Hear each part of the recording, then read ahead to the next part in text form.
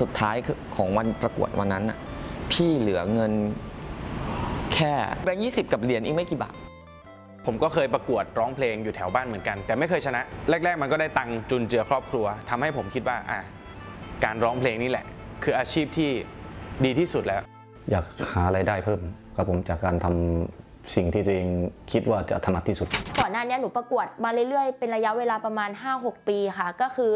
พ่อกับแม่น่ะมีหนี้สินแบบเยอะมากเป็นล้านค่ะ เพราะว่าตอนนั้นคือเอิญเองอะชอบร้องเพลง แล้วก็พอกับแม่ก็คือชอบด้วย เวลามีเวทีประกวดที่ไหนก็คือไปเรื่อยๆอะค่ะ บางทีก็ไปงานวัดมั่งโรงเรียนส่งไปประกวดมั่งก็ไปค่ะ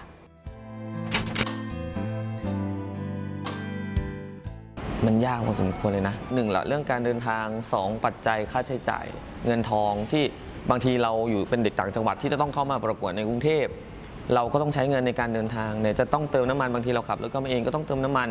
ค่ากิน ค่าที่พัก ดันด้นมากับคุณพ่อสองคน มันมันเป็นอะไรที่แปลกใหม่อะเพราะเราไม่เคยออกทีวี ไม่เคยออดิชั่นมาออกทีวีสักทีเลย อยู่แต่ในป่าอ้อยร้องเพลง ความยากจนมันทำให้เราความรู้น้อยมาก รอเป็น 2-3 เดือน 4 เดือนก็ว่าได้อ่ารอเขาโทรไป ผมมาที่สตูกันอีกครั้งนะครับ มามาถึงปุ๊บก็นึกว่าจะได้แข่งแข่งเลย แต่วันนั้นคือการมาแต่ละครั้งมันก็หนักเอากันอยู่ครับก็หลักหลายพันยืมด้วยครับยืมน้ายืม น้องสาวของแม่นะครับ เอ่อนั่งรถทัวร์มากับแม่สองคนค่ะ ซึ่งสร้างเดือนที่ไม่รู้ว่าพานหรือไม่พานยีได้เข้าไปในรายการซึ่งวันดนตรีมันก็ถือว่านานมากๆค่ะ แต่ก็เราก็หว่างทุกวันว่าแบบเอ๊ะเขาจะโทรมา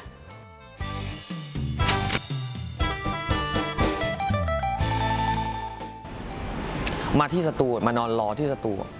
ถึง 9 นัด 9 นัดก็คือ 1 นัดเนี่ยอาจจะนัด 3 วัน หรือ 1 นัดอาจจะนัด 2 วัน ก็ถั่วเฉลี่ยไปอะ2วัน 3 วัน 16 วันที่พี่มานอนรออยู่ที่สตูศึกวันดนเพลง เรามาถามคนที่เรามานั่งรอว่าเราจะได้ขึ้นไปร้องตอนไหน แล้วทีเนี้ยเขาตอบกลับมาว่า พี่ก็ไม่รู้เหมือนกันนะครับอะเดี๋ยวรอต่อไปก่อนนะ มันก็มันท้อมากตรงตอนนั้น เราจะถอยหรือเราจะยังไงดีเพราะว่ามาแต่ละครั้งก็ 5 0 0 0 6 0 0ต่อครั้งนะครับ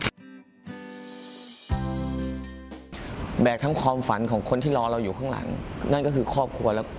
พี่น้อง แล้วก็คนรอบข้างน้องๆที่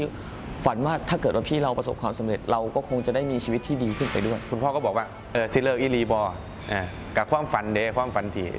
ได้ตังไว้เด้ที่ลูกได้ตังไว้ว่าเอออยากเป็นนักร้อง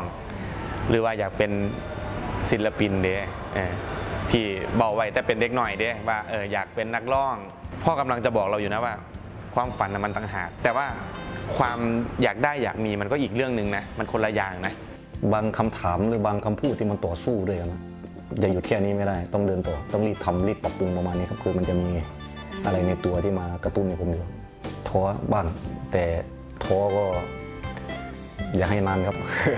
ต้องรีบตื่นตัวครับ พ่อเนี่ยเป็นคนที่ชอบฟังเพลงมาก ชอบร้องเพลงมาก ชอบให้ลูกเป็นศิลปินแบบชอบมาก